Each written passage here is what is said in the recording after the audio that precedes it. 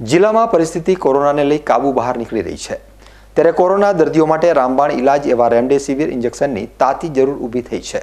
સરકાર દ્વારા રેમડેસિવિર ઇન્જેક્શનનું કાળાબજાર અટકાવવા માટે હવેથી ઇન્જેક્શનનું ઓનલાઈન વેચાણ શરૂ કરવામાં આવ્યું છે, જેમાં હોસ્પિટલથી સીધા દર્દી જ ઇન્જેક્શન માટે ઓનલાઈન અરજી કરી શકે છે. ત્યારબાદ જરૂરી દસ્તાવેજો સબમિટ કર્યા બાદ સરકાર દ્વારા તેને મંજૂરી આપવામાં આવે છે. મંજૂરી મળ્યા બાદ દર્દી કે હોસ્પિટલનો કર્મચારી મંજૂર થયેલી અરજીની નકલના આધારે ઇન્જેક્શન લેવા માટે નિયત કરવામાં આવેલા કેન્દ્રો ઉપર પહોંચે છે અને તેને ઇન્જેક્શન મળી રહે છે. પરંતુ ડીસામાં હવે આ વિતરણ વ્યવસ્થામાં નવી ખામી સર્જાઈ છે. સરકાર દ્વારા જાહેરાત કરવામાં આવી છે કે ડોક્યુમેન્ટ દર્શાવવાના જ રહેશે તેમ છતાં, સ્થાનિક કક્ષાએ ઇન્જેક્શનના વિતરણ કેન્દ્ર ઉપર દસ્તાવેજો જમા લેવામાં આવી રહ્યા છે, જેથી ઇન્જેક્શન લેવા આવતા દર્દીઓને મુશ્કેલીઓનો સામનો કરવો પડી રહ્યો છે. બનાસકાંઠા જિલ્લામાં કોરોના વાયરસે આતંક મચાવ્યો છે અને આ આતંક વચ્ચે દર્દીઓને રેમડેસિવિર ઇન્જેક્શનની ખૂબ જ જરૂરિયાત ઊભી થઈ રહી છે. સરકાર દ્વારા રેમડેસિવિર ઇન્જેક્શન દર્દીને આસાનીથી મળી રહે તે માટે બનાસકાંઠા જિલ્લામાં ત્રણ સેન્ટર શરૂ કરવામાં આવ્યા છે. ઓનલાઈન પ્રક્રિયાની અંદર પહેલાં તો દર્દીના સગા અથવા તો હોસ્પિટલ દ્વારા ઓનલાઈન અરજીની નોંધણી કરવામાં આવે છે. ત્યારબાદ તેની એપ્રુવલ મળે છે અને એપ્રુવલ મળ્યા બાદ ડીસા, પાલનપુર અને થરાદમાં જે સેન્ટર તૈયાર કરવામાં આવે છે, ત્યાંથી દર્દીના સગા તે રેમડેસિવિર ઇન્જેક્શન મેળવી શકે છે. પરંતુ વાત કરવામાં આવે ડીસાની, તો ડીસાની અંદર અત્યારે રેમડેસિવિર ઇન્જેક્શનને લઈ કેટલાક પ્રશ્નો ઊભા થયા છે. સરકાર દ્વારા જે પરિપત્ર બહાર પાડવામાં આવે છે, તે પરિપત્ર મુજબ હું તમને બતાવવા જઈશ, કેમેરામેનને કહીશ કે તમને આખી વસ્તુની પ્રોસેસ સમજાવશે કે જેમાં સરકારે બનાવેલો આ પરિપત્ર મુજબ. એમાં સ્પષ્ટપણે ઉલ્લેખ કરવામાં આવ્યો છે દસ નંબરમાં કે મંજૂર થયેલ અરજીના ડ્રગ ઇસ્યુ થયા પછી ઇન્જેક્શન લગાડવાનું રહેશે અને જે નવમા નંબરનું છે, એમાં સ્પષ્ટપણે લખવામાં આવ્યું છે કે સબમિટ થયેલ અરજી સીડીઓ દ્વારા ચકાસણી કર્યા પછી કે ના મંજૂર કરવામાં આવશે.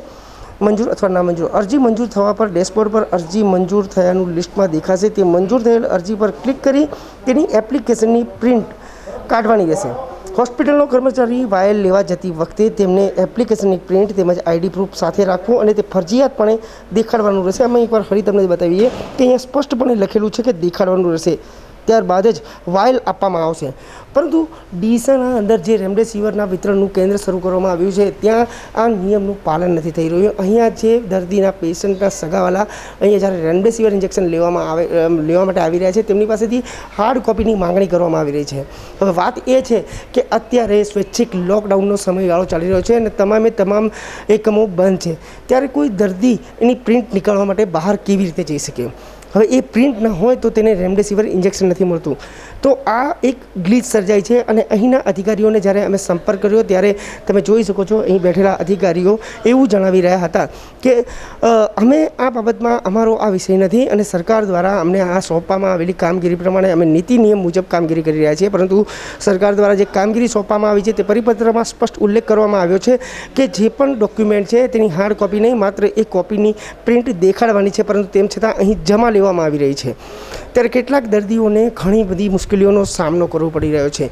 અહીં જે ઇન્ચાર્જ સિંધી ડૉક્ટર ફાર્માસિસ્ટ છે, તેમનાથી પણ અમે વાત કરી જે ત્યાં બેઠેલા તમે જોઈ શકો છો કચેરીની અંદર. અને એ એમનું કહેવાનું પણ થઈ રહ્યું છે કે અમે અમારી કામગીરી, નીતિ, નિયમ મુજબ કરી રહ્યા છીએ અને લોકોને અગવડ ન પડે તે માટેના પૂરતા પ્રયાસ કરી રહ્યા છે. પરંતુ તેમ છતાં લોકોને અત્યારે રેમડેસિવિર ઇન્જેક્શન મેળવવા માટે મુશ્કેલીઓનો સામનો કરવો પડી રહ્યો છે. ત્યારે સરકાર દ્વારા જો ઓનલાઈન પ્રક્રિયા કરવામાં આવતી હોય, તો ઓનલાઈન પ્રક્રિયાની અંદર બેઝિક પુરાવાની શું જરૂર હોય છે? દાખલા તરીકે જે હાર્ડ કોપીની જરૂર શું હોય છે? એ ઓનલાઈન જે પુરાવો હોય છે, એ પહેલાં જ ત્યાં સબમિટ કરી દેવામાં આવ્યા છે અને ત્યારબાદ જ તેને મંજૂરી આપવામાં આવે છે. પરંતુ વિતરણ વ્યવસ્થાની અંદર ક્યાંક ને ક્યાંક ખામીઓ જોવા મળી રહી છે.